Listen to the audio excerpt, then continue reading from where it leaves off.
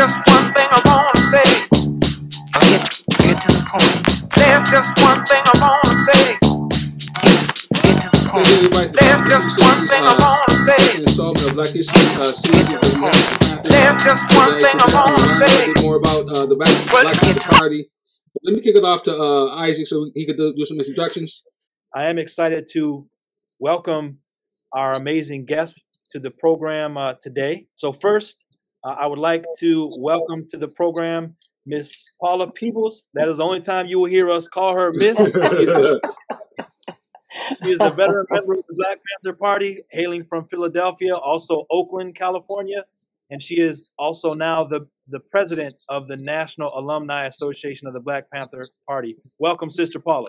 Indeed, it's good to be here. All power to the people, and I want to join you in encouraging all those who's joining the uh, Zoom series this evening to send us your questions. We're here to answer them, and I'm so happy to see my comrades here from New York and uh, Connecticut. Next, we have Elise Brown. Um, welcome to the, the program. We are honored that you are here. Elise is a veteran member of the Black Panther Party, um, hailing from New Haven and Oakland. Uh, in Oakland, she helped run the Child Development Center that the Black Panther Party uh, operated. So we we will hear from her about all of those experiences coming up. Welcome, Sister Elise. Greetings, everyone, and all power to the people. Next, we have none other than the esteemed Cyril Innis Jr., better known as Brother Bullwhip, veteran member of the Black Panther Party out of New York City, Corona. And uh, Bullwhip, give, give us a shout out. Power to the people there, brother. Yes, all power to the people, and I hope we educate to liberate tonight. Isaac, make sure he gets to tell our guests how he got his nickname Bullwhip, okay? Before we, I guess, get into the, the real questions, but let, us get into this bullwhip. Now, how did you get that name?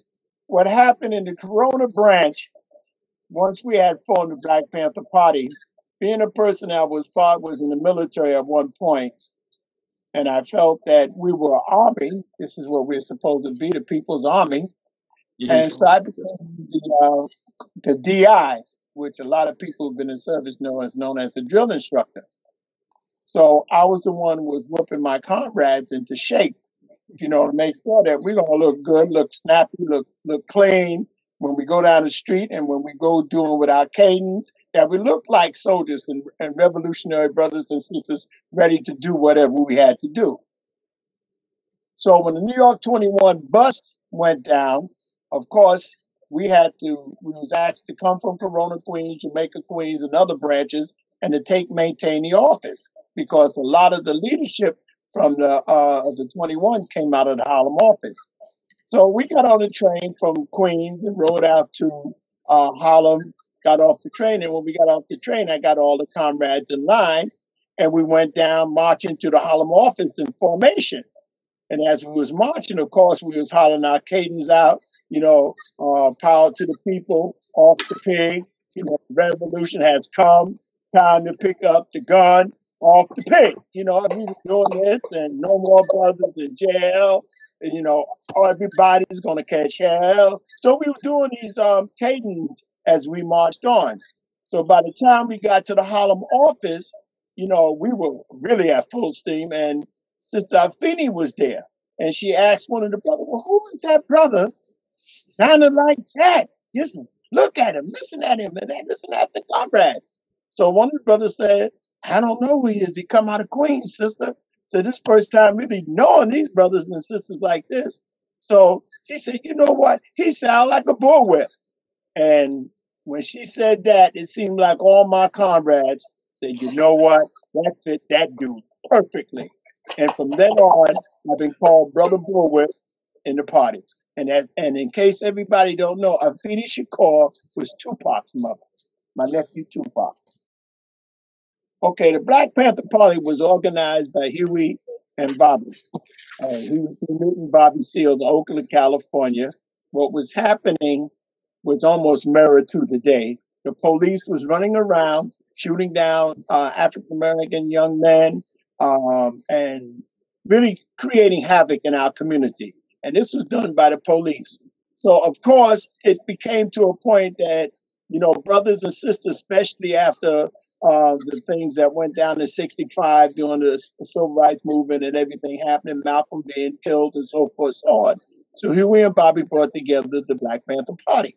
Now, the Black Panther Party started off as just the Black Panther Party. What happened, uh, Lowndes County in Alabama had a, a figure and they said, you know, since you brothers and sisters joined the party looking so good, and you're saying the Black Panthers, we're going to give you a chance to have this symbol. So the party was organized, and as the party was being organized by brothers and sisters and everything from the from the lumpen, and the lumpen is the street people. Um, we uh, Huey and Bobby developed a ten point platform and program, and from that ten point platform and program, every Panther had to know this 10 point platform and program. Then we had three main rules of attention, and uh, we had a lot of um, uh, what you would say rules that we had to follow as members of the Panther Party. Now, we were there to, to serve the people. That was our purpose. We were there to serve the people and to protect the people in our communities from these police pigs coming in and vamping on, on the people.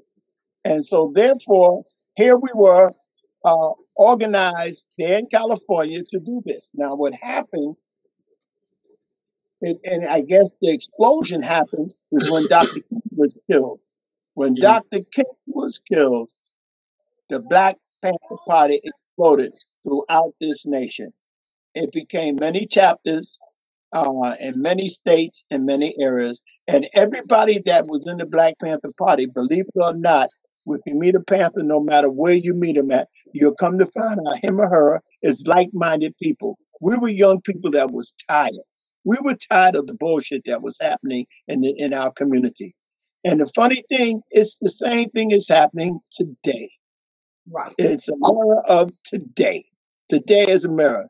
If they didn't destroy, if they didn't separate us and destroy us like they did with the BS they did, this might be a very different thing today. But because they did and destroyed us and and and wanted to make people think that we were racist, wanted to make people think that we also was a gang, wanted to make people think that we was criminals and killers and all that shit. No, that's a lie.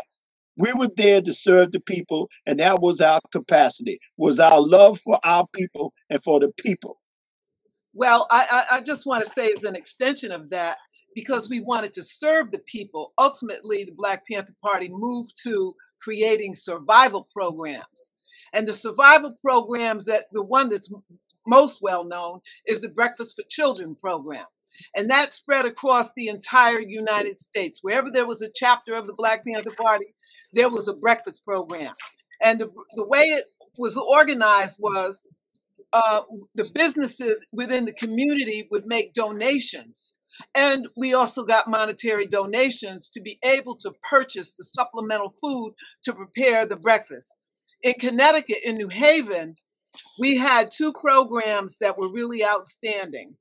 Uh, one was at a neighborhood center, the Vanguard Teen Center, and we had community people who served the breakfast. One gentleman, he was a professional chef, retired. He would get up in the morning and he would beat everybody else there to set up the kitchen and get started. Um, we also provided transportation to the breakfast program. Um, one of the things that was truly rewarding over the years after the Black Panther Party, just walking through the community or somewhere in the community, you'd see somebody, hey, sister, you fed Yes. me breakfast. Oh, that's such a rewarding feel to feeling to know that someone remembered you for, for, Mhm. for giving them breakfast in the morning. The other program that we had was in the Hill neighborhood. And that was at a place that was like a stone building. I may have been a church at one time, like a granite building. That was the Heat Jazz, Heat Jazz Grotto. Now, that community over there was very diverse, a lot of Puerto Ricans, a lot of blacks. That was probably the most um, diverse neighborhood in New Haven. Uh, whereas Newhallville and Dixwell together, there was more, a little more up, up, up, upward mobility. Um, both of those programs provided transportation, and both of those programs had we had community workers, people who wanted to become Panthers, who worked in the programs. serving, setting up the tables, keeping the children in order, and they ran very well for a number of years. As an adjunct to the breakfast program, sort of scaled back, we ran a breakfast program in our office at 259 Dixwell Avenue. The Panther Party uh, in New Haven had two principal sites. One was on Sylvan Avenue, and the other was on Dixwell Avenue. The one where we ran the programs the best out of was 259 Dixwell Avenue, where we operated an information center.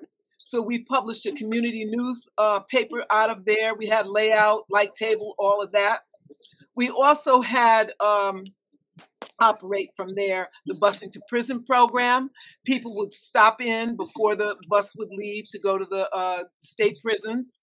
Um, and during the summer, when we weren't so much about serving breakfast before school, we had liberation schools. And liberation schools were all across the nation.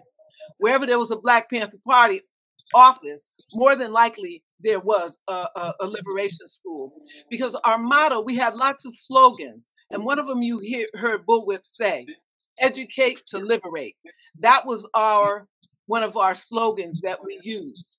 Um, and so at the liberation school which kind of served lunch we served a little breakfast for the ones who could get up that early and then we served lunch in the afternoon.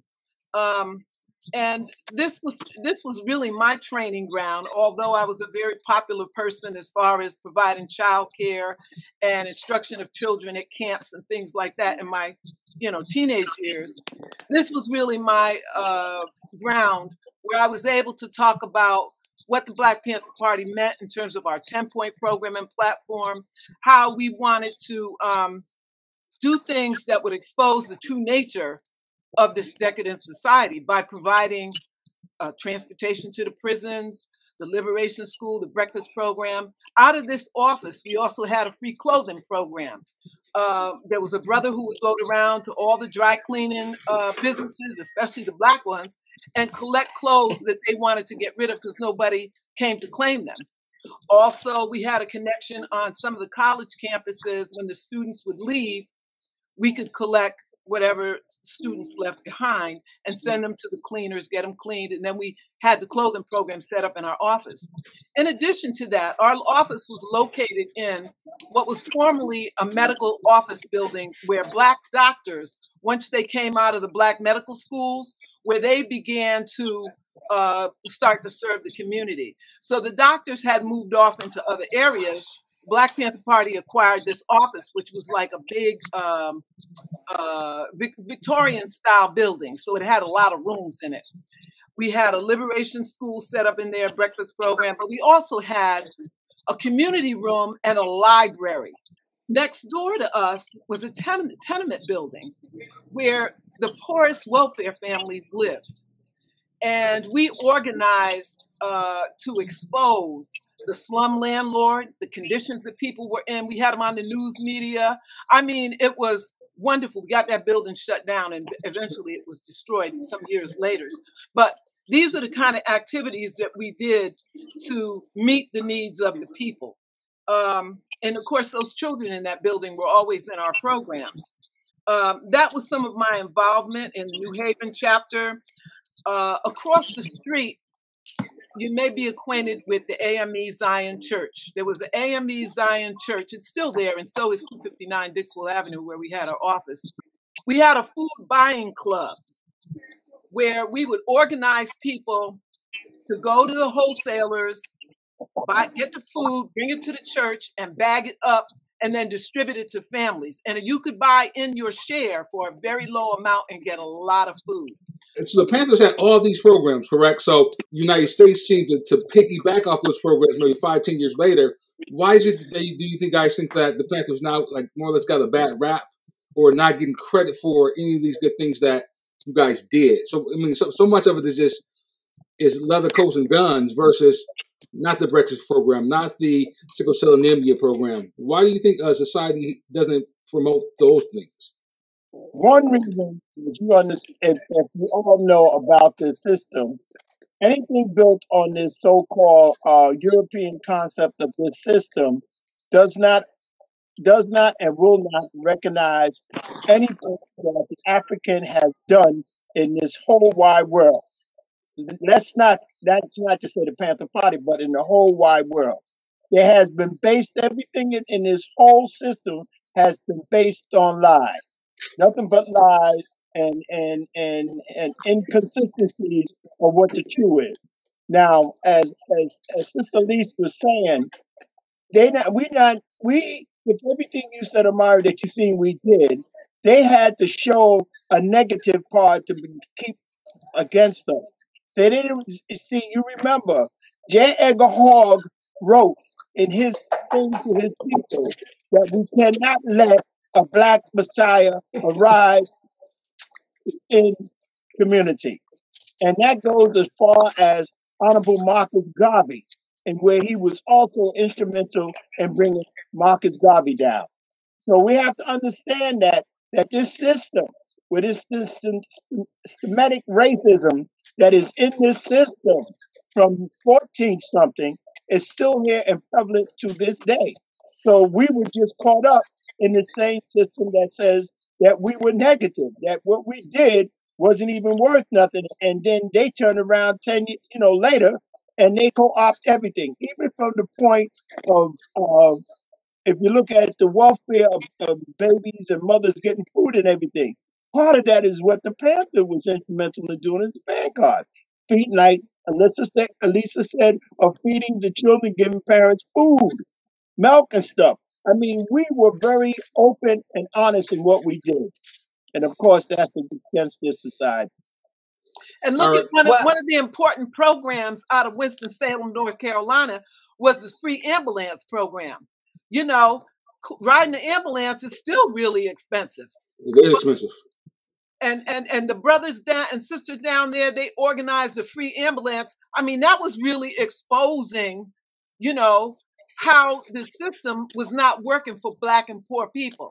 Well, This question I have for you: How, when, and where did you join the party, and what was your role? my first interest in the Black Panther Party, Ericka Huggins came to New Haven after John Huggins was assassinated with Bunchy Carter out there in California. She came to New Haven, her husband, Uh, right, was right? assassinated. She came to New Haven and was trying to organize uh, a chapter. And I would attend the PE classes. I was still in high school. Um, but fortunately, I was blessed with the insult that I wasn't there when all that negative stuff went on. But I went out when the Black Panther Party sent out the call to come to California to attend the Intercommunity Institute. I went out to California and I was assigned to work in the Child Development Center in Richmond. The Child Development Center was in like a ranch building. And it was kind of in the forefront of childcare. I've also managed childcare facilities. We had infants, we had toddlers, and some little, a few older children ca- came around. But these children were Black Panther Party members' children. I'm trying to see if I see my son in this picture. Yeah, there he is. As an outgrowth of the Child Development Center, our children would go to um, the school, the Learning Center, which was located in Oakland. It was a dormitory. These children lived pretty much in the dormitories, or for the most part. And we had focus on all of the things that child development do now. But mind you, this was in uh, about 1973. yeah. So we were in the forefront of childcare. The Black Panther Party used to say we're the vanguard, and for a lot of things, we were the vanguard because a lot of these programs that you see now, the Black Panther Party had already done them. We set the standard. I joined the Black Panther Party um, as a student, as an activist in the uh, in high school in in the student movement. I went to an all Catholic girls high school, and at the time we were fighting to get Black history in our school. I joined the party in Corona, Queens. What started off first, I joined Malcolm X Culture Center. It was a culture center that um, we was having in Corona, Queens, and it really consists of the both uh, groups that was part of Corona, Queens were part of street organization. I belonged to the chaplains, and then there was the uh, other organization that was there, and I joined the center at the time, and I really liked the center because at, at that time my mind was already developing into who and what I wanted to do and uh, knowing of myself. And I felt that was important to know of myself. And being course, one of my first books that I had read to put me in that frame of mind was Superman to Man by J.A. Rogers. And upon reading that book, I was so amazed at what we have done as African people. Rona and asked us, would you guys like to be Okay. Panthers? And of course, we were doing things in the community as it was with the with the elders and so forth. So, so we said, okay, well, let us think about it. And I guess we took one day really to think about it because when they came out again, we said we're ready. Okay. Uh, I have, I have a question for you and, and Jinga. Uh, Yeah, how, when, and where did you join the party? And what was your role? joined the party in Baltimore Okay. in 1968. I, I joined the party because uh, I went to a place called Soul School in Baltimore, and I was so interested in everything that I was reading. They had all these books, and then a lot of the people that came to Soul School were Panthers. So hmm I went and became a community worker. And in doing my community working services, I got more enthused and started wanting to be in the Panther Party. So they had initiation period in six months. We had a lot of reading to do, a lot of studying to do, and you had to prove that that's what you really wanted to do. And so eventually, that's what happened. I became a Panther because I did the work. And um, in Baltimore, we had a free breakfast program, and we had free, free legal clinic. We had um, uh, medical uh, uh, services where they tested for sickle cell, and all this as a young girl, and coming from Pittsburgh, Pennsylvania, where I had never seen, you know, a lot of blacks. Even in school, I didn't have a black teacher a- a- a- all the way through school. It was just so exciting to be able to go to those PE classes. Not only did you have to learn how to uh, uh, uh, prepare for a PE class, but you had to be able to present it. And while you were a community worker, when you were out in, in the field, the uh, Panthers that you were assigned to be with, they observed whether you were able to um, talk to the people in the community and explain to them, you know, what it was that we were trying to do and what we were all about. And then it was the part of being a community worker to get to the Panther where we had to read different newspapers all over the world newspapers. We go to Mm. international news centers and we had to read that. And we were also assigned task of, you know, when you read this, you know, you had to do a writing on it. You know, you had to, Wow. you know, it, it was just fascinating, and I was just excited. And so when I really became an actual Panther and lived inside the headquarters, Baltimore chapter about that time got vamped on, and um, while they were vamping on us, we were sandbagging and trying to keep ourselves alert and, and keep ourselves uh, fortified and hold our headquarters down without any problems. Um. I just love the fact that my childhood came at the time that I was able to join and connect with the Black Panthers, which has really formulated how I've lived my life. Paula, there, there's a lot of misconceptions about the party. One is that anyone can join, um, and the and the membership was given freely. What's the truth behind all this? Um, the truth is that not anyone could join the Black Panther Party. Uh, Yeah. one, you had to be uh, a black person, a person of African descent. In order to join the party, you had to demonstrate a level of commitment about um, showing thyself approved in relationship to our survival programs, from the breakfast program all the way up to our political education class. Not only did we have to attend political e- education class, we had to be able to carry a political education class based on a specific topic. That's how you show yourself approving that you would be able to carry out any revolutionary task that may be asked of you. You had to um, express a willingness to um, support, love, and struggle for the people. That that was the first and foremost um, commitment in becoming a member of the Black Panther Party. You couldn't be a pimp on the weekend and think you're gonna come in Monday and be a Black Panther. So um, anyone couldn't join the party. You had to show yourself approved. The people would always provide for us background on people also. So if someone came in there shaky, people in the community would let us know y'all don't want to let him join your organization. You know, he be out there talking to the pigs every other day, or he out there selling dope. You couldn't be a part of our party if you um, supported the degradation and the degeneracy of what was going on in our community. We were there to uplift our people, to educate them through revolutionary knowledge. And so, again, as I said, you have to show yourself approved by engaging in the activity, starting out usually as a community worker and improving yourself and, and indicating to the captain or the deputy captain that you believe you were ready to join the party. One of the ways that you get out there where people can identify you and you also show selflessness in the beginning is selling the newspaper. The Black Panther newspaper was the means of educating the people. And so all of us had to get out there and sell the newspaper. The Black Panther Party, for me, and in, in, my humble opinion, was a laboratory for all of us who were very young people at that time. You know, me joining the party at 16 years old, still in high school, it was a laboratory for me. So therefore, it is innately a part of my very being. I will be a Panther until I die. I don't know anything else than to be a Black Panther, be a revolutionary in this country constantly fighting against oppression, fighting against institutional racism. That's what a Panther is.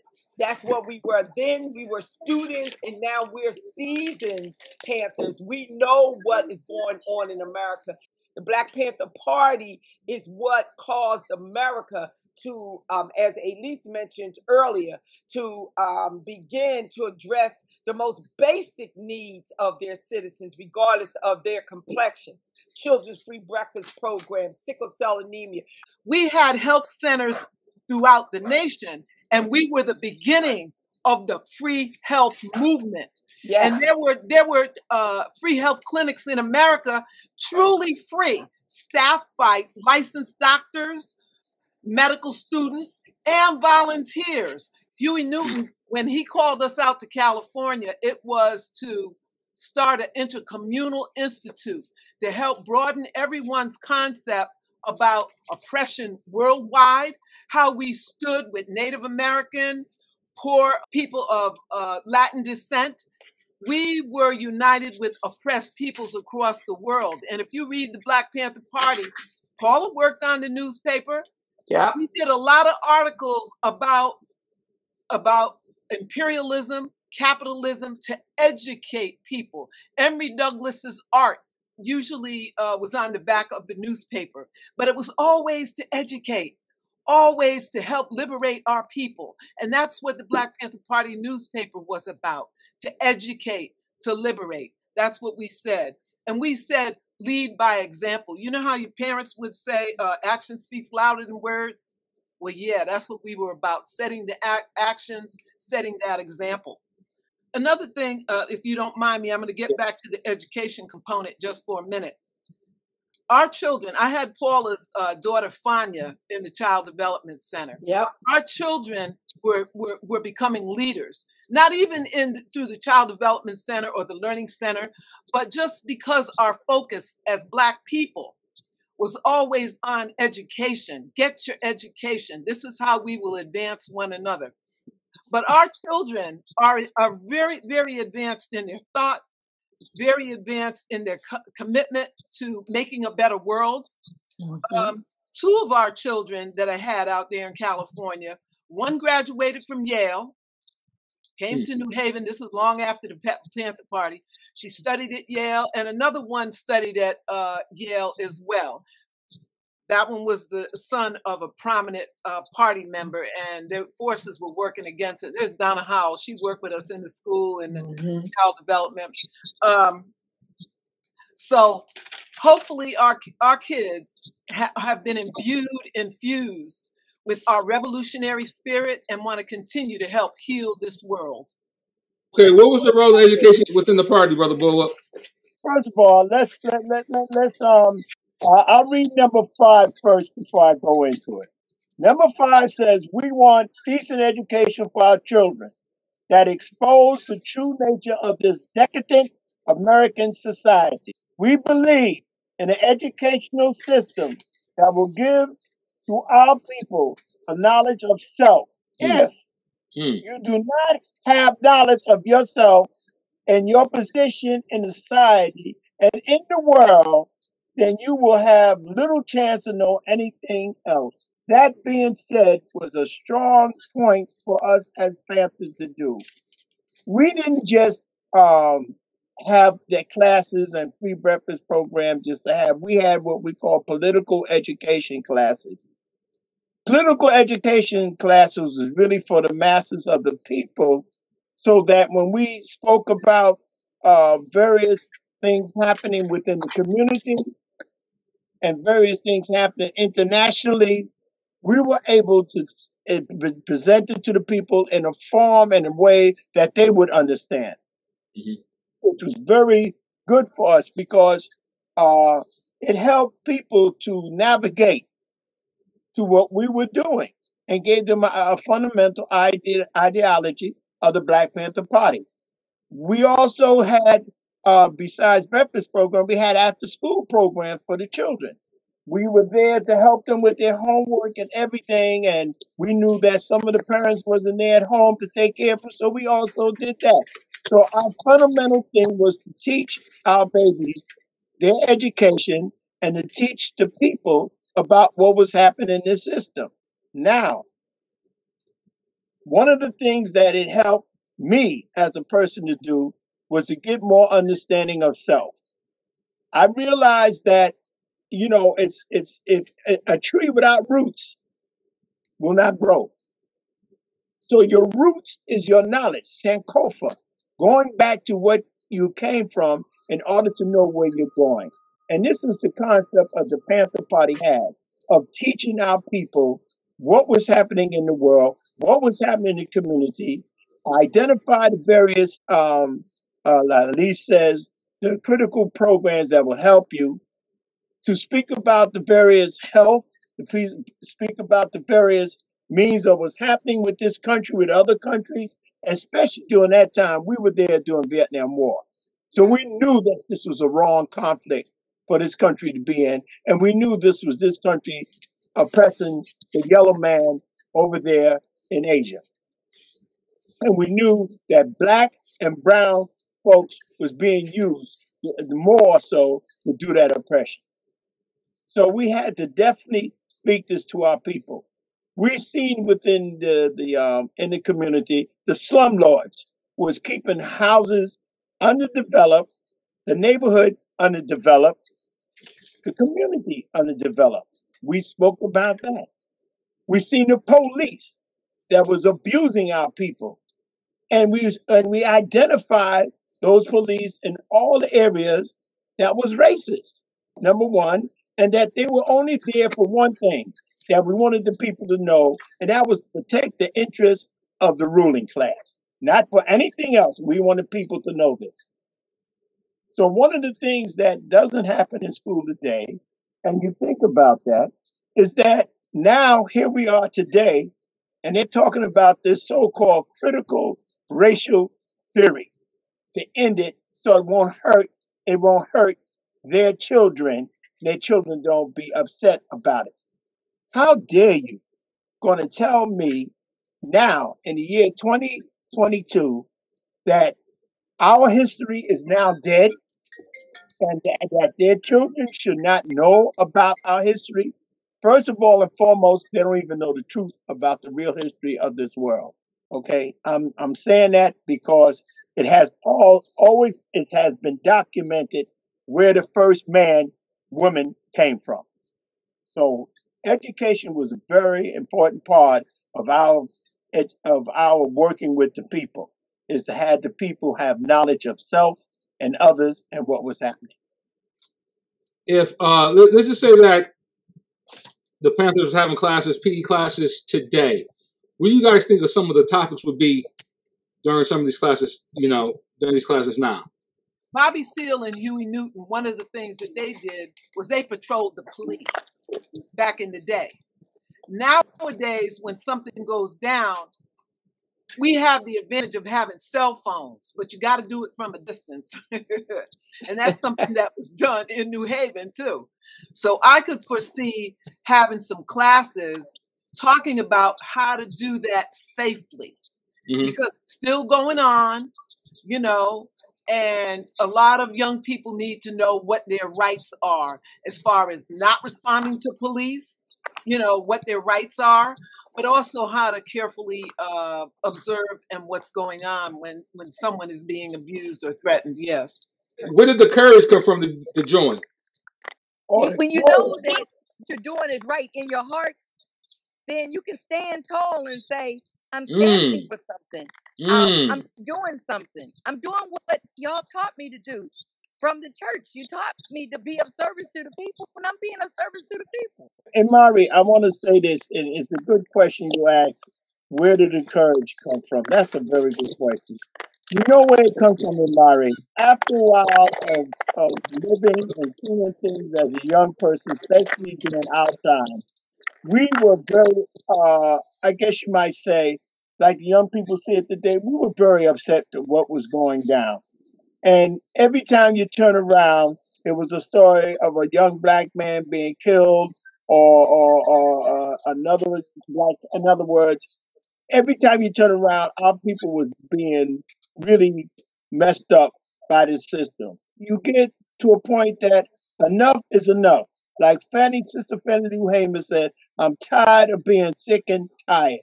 And when you reach that stage, it's a beautiful thing when you find people that is like-minded as yourself. And I was so glad to meet these sisters that you see on here and the brothers that I know to know that we all felt the same way. We were comfortable with each other. The courage was us coming together as a group. Mhm. Yes. This is what the Panther Party did. It brought us together as a group. We didn't have to be a, be a one man as an island no more. We were now the village who takes care of the child. Mm. We were the village to take care of the people. You know, you have a hand and you have individual fingers, and each finger has a function. But when we stand together like these, fi- like we make a fist, we're stronger. That's what we used That's to right. tell the children. And so That's we're going right. to stand together like our like our fingers, and we're going to be strong, and we're going to fight the power. No, but That's true, though. That's true, uh, another thing is we wanted to stand with the people. One of the things we did, we stood with the welfare moms. Okay, there was a time when the welfare allotment, and they're still whatever they are, but they weren't enough to have back to school clothing. They weren't enough to have food. So we helped to organize the welfare moms and take a bus up to the state capitol so that we could demand in the name of the people, we could demand these things for the families. And that is what the Black Panther Party did. We stood with the people on issues that were concerned to the people, not just our ideas, but their ideas as well. We supported their ideas because we had an idea of what it was to organize, to establish, to initiate. And so, where the people had an idea, we helped them organize those ideas into Mm. reality, into something concrete that it could benefit us all. We also had a program called the 10 10 10 program. In other, in other words, you meet 10 people, you, you politicalize these 10 people, you bring them to PE class, you have them there, you, they do everything that we do as Panthers as far as selling the papers, talking to the people, reaching out to the community, and doing something in their building. These 10 people will also organize another 10 people. And that 10 people will organize a, a tenement, a, a 10 apartments, let's say. Those 10 apartment people in 10 apartments will organize another 10 apartments until all of a sudden we have a block. So our 10 10 10 program was basically helping people to organize each other. this is something that I don't see within the Black Lives Matter organization of organizations that they do that they don't have a set and this is and when they ask us questions what we need to do we say organize organization is a crucial thing to make things work and Okay, so the panthers were organized that, that, I was going to lead into that question. Like, so these things you guys are saying is that so are these things you guys think is missing in today's organizations? As in, you guys sound like like the ten to ten aspect. I don't see that being implemented in in organizations now. Um, the, the, the, Occasionally, occasionally you hear somebody say, each one teach one.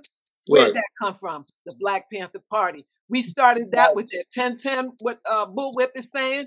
Each one teach one. Yes. or or even the, the PE classes. Like some people can sit back and say that they're revolutionary minded now or doing whatever, but they don't have the the knowledge like as you guys were saying, and they- they're not studying. Eh, are these the things that's missing in today's movements? We Yes, used to say, there's a lot. There's a lot missing in today's movement when it comes to organization. A part of organizing is bringing people of like-mindedness together. To not be afraid. You're going to make that step.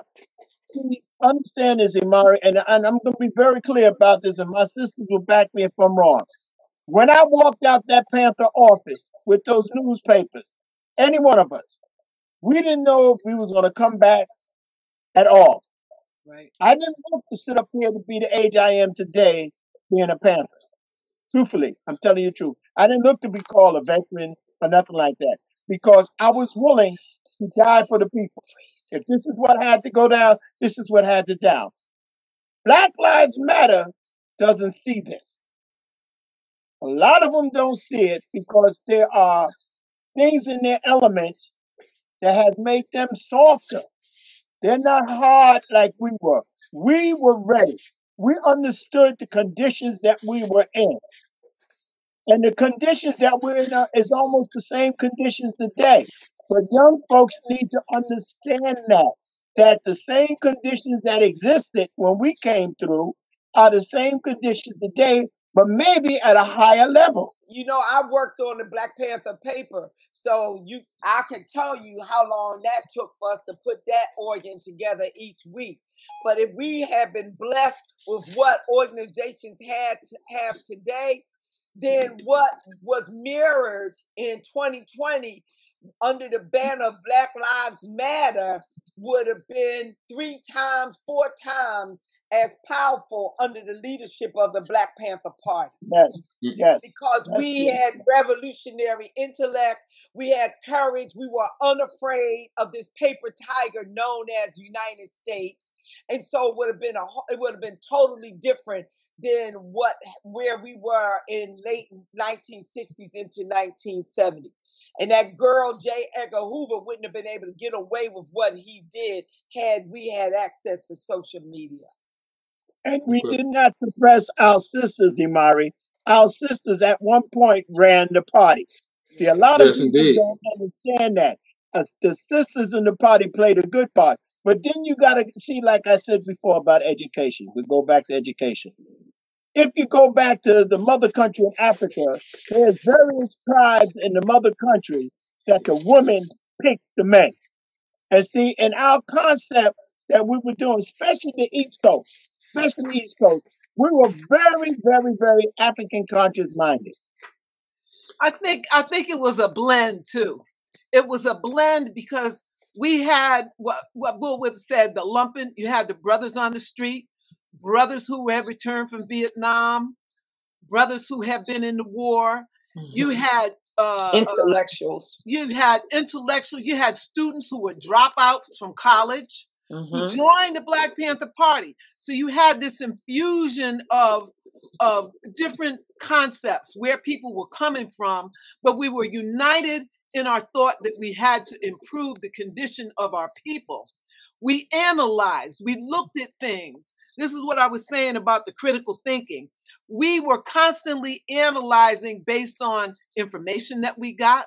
We had um, informational sources that we looked to, such as Sechaba, the organ of the African National Congress. We subscribed to different uh, uh, publications so that we could get information. We united with people from around the world when we encountered them who knew that the, the imperialism and the capitalism were affecting us all. So we're all analyzing this within our organizational PE classes. And we're, we used to say, we're not going to tell you what to think. We used to say to the children, but we're going to tell you how to think. How to teach you how to think. And Mhm. so this is how we came together. This was the basis of our, uh, we all had a frame of reference from where we came from, but we were united in our purpose to serve the people and improve and uplift the, the, our people. Yeah, so there are some questions that um some of our listeners have. So I'll just put a couple out. Um, but then we have we do have a few.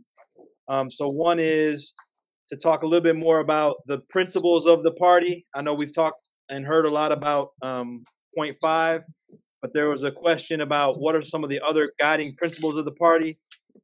Um, and then and then also there's a question about um, Black Panther parties or Black Panther Party today. What's your you know does does the party still exist today? Are there other Black Panther parties? Okay, let me um let me let me go through the 10 point platform and program. This was the base. We want freedom. We want power to determine the destiny of our black and oppressed community.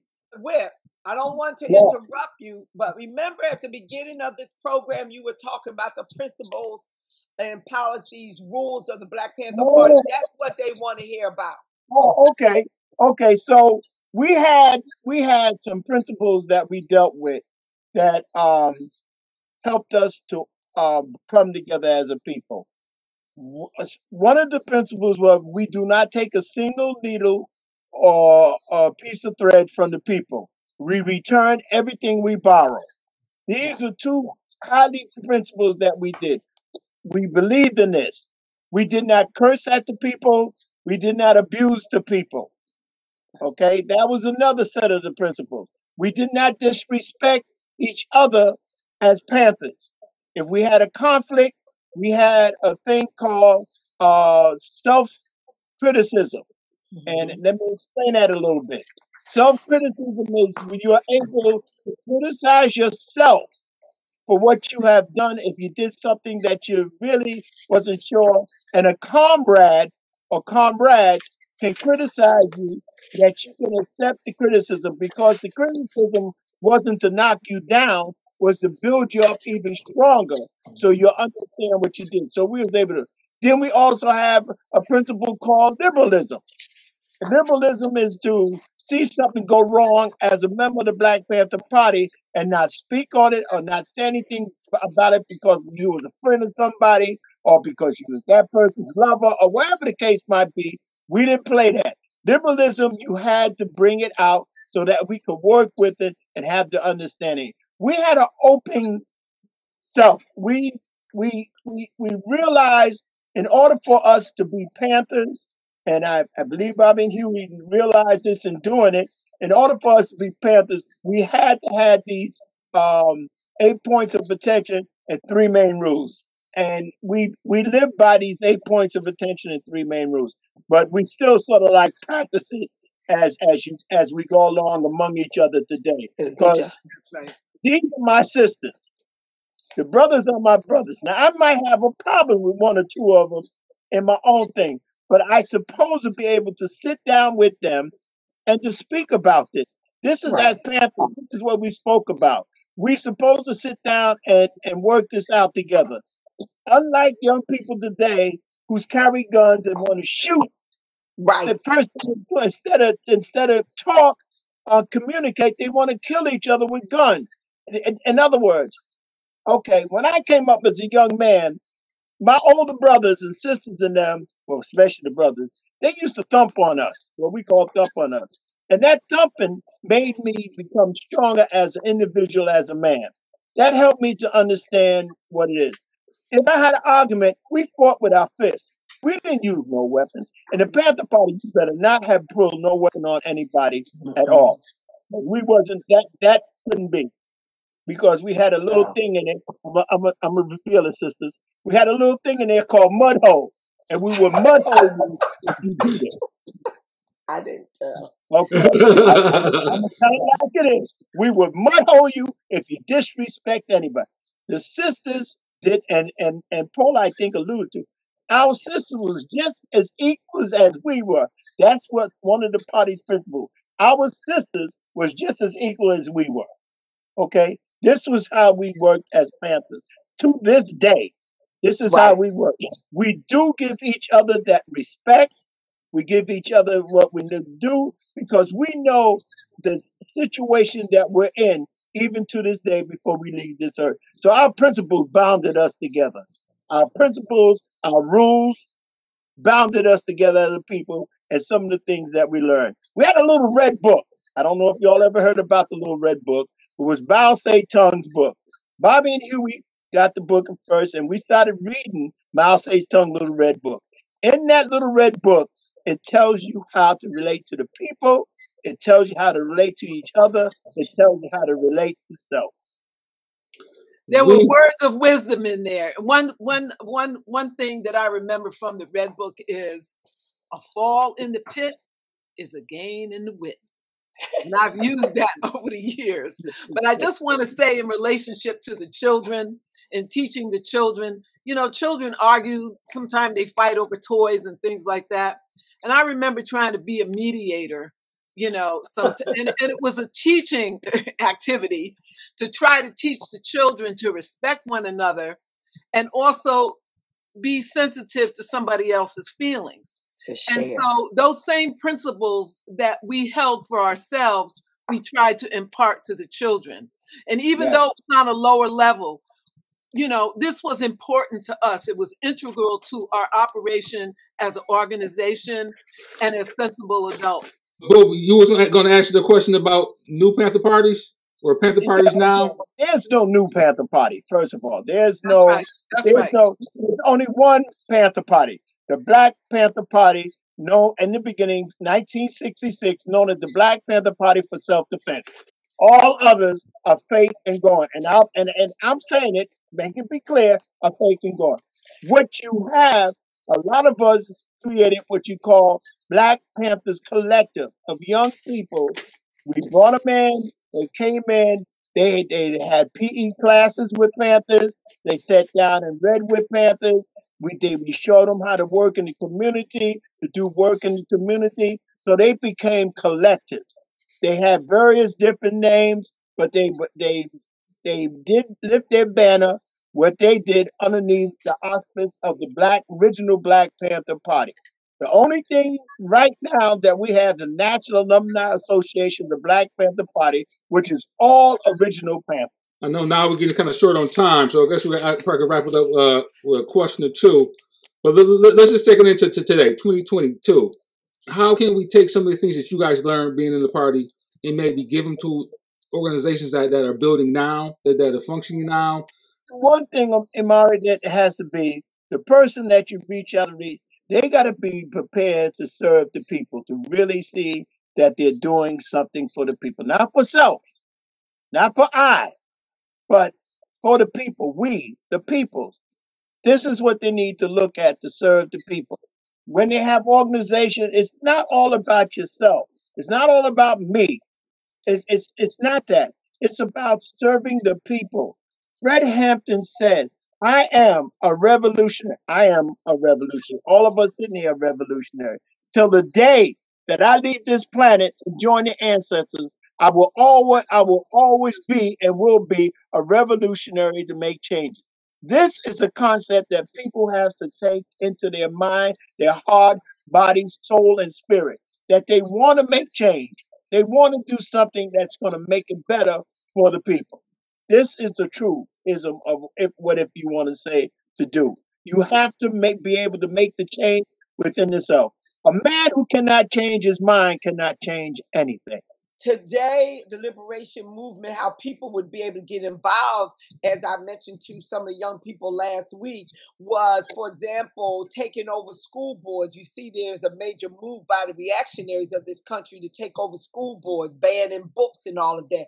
You need to go on a local level and, and run for those school boards so you can run the educational institutions within your community. You need to be able to challenge the status quo whether you have city council people or aldermen, whatever level is on. Be unafraid, unafraid. Step out in courage. Or get start off by organizing the block or the floor in an apartment building where you live, and then spread your wings and step out on all fours to be able to take on whatever the issue that you have. Um, and and also you want to look at redesigning um, whatever the local policies in politics is that's adversely affecting your community. No, it's no time to be silent. You all have much more greater tools than what we have. Put them to work. Be unafraid. Be unafraid. Organize your community. Challenge whomever come up to you. And, and above all, make sure you maintain your Second Amendment rights and make certain that you are, because there's some serious reactionary uh, activities going on in this country. And Imari and Isaac, one of the things that I have to, as you heard me say, that critical racial theory, that our people need to stand up and say, no, you're not going to introduce that to us in this country. You're not banning nobody's book. You're not Right. banning anything that we had at first. You're not banning this. And these parents in the homes who had these books, you know, to tell their children and have the children, the high school children, the college people, even the junior high school, come together. Look, black student unions, make them happen again. Become black student unions in these schools Yeah. and say, no, we're not going to deal with this critical racial theory. You're not going to hide the truth from the people. You're not going to do that. You're not going to put say that this didn't happen. It happened. Now let's deal with it. We've used uh, the public library as a forum for coming together, and that's one place where you can gather. You, your tax dollars pay for it. Hold a, uh, uh, a reading session. Hold a, a book discussion group with the young people. Talk about some of the issues that are going on. Uh, you can always use the public library. Sometimes there are banned book events where uh, you have an author come in and talk about why the book was banned or whatever to educate, to help us liberate our communities. And Njinga, did you uh, have something you want to add on to that question? I just would like the young people that are listening to know that whatever it is that they can do, they don't necessarily have to do it through a big organization. They can start their own organizations. They can work within the organizations that are already in place. It's just important that they do something, join to do something with someone. Now, are, are you guys like willing to like? Let's say that we, we get some interest. Some some, some people want to know like how to get in, get in contact, or maybe they need help with some of this organizing. Well, we have an email address for the National Alumni Association of the Black Panther Party, NAAB, as in boy, BPP at gmail dot. Our website is naabpp.org.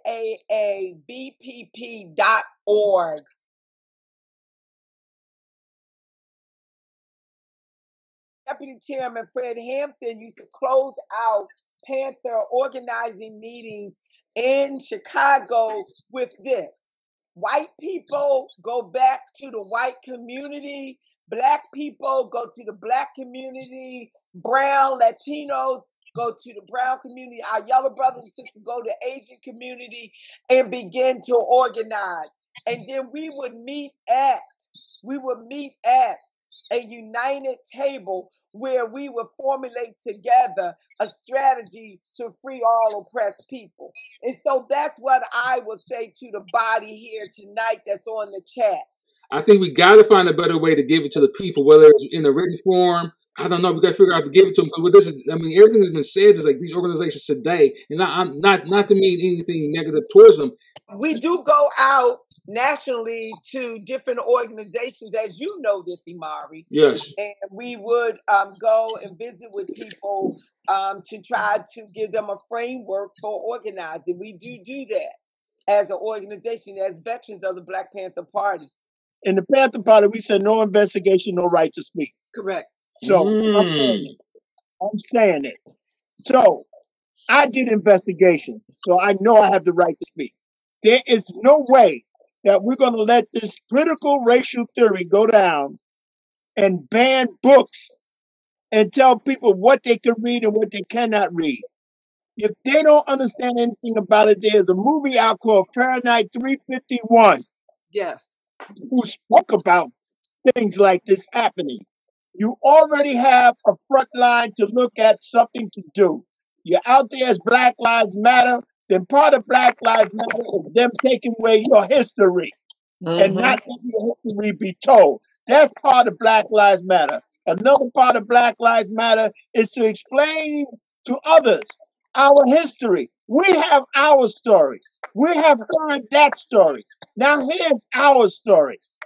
Uh, in the absence of being able to talk one on one with us, talk to some of the older people in your family. Talk to your grandparents and ask them what do they think about the struggle? What do they think about the Black Panther Party?